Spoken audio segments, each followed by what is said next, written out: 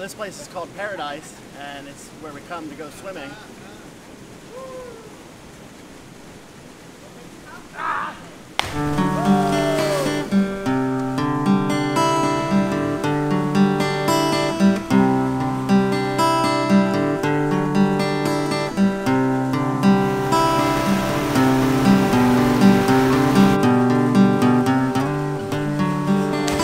Oh,